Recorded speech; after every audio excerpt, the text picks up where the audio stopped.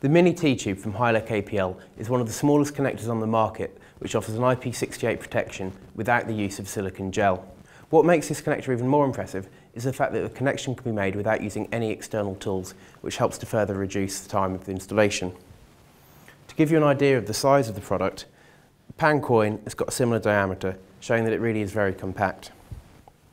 This is achieved thanks to cable gland technology on the outsides of the connectors making the connection and the terminal block being built into the body of the actual connector which helps to further reduce the size. The connection is initially formed by pushing the wire through the outer cable gland and making the connection with the terminal blocks.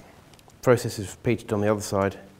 As the dome top gland makes the connection, an IP68 seal is formed on both entry points, completely protecting the connection, making a compact and reliable connection. Another product that uses similar technology is the Mini Teeplug. Again, the dimensions are kept minimal by combining the internal connection unit and the housing, and the dome top cable gland is used to make the cable entry points.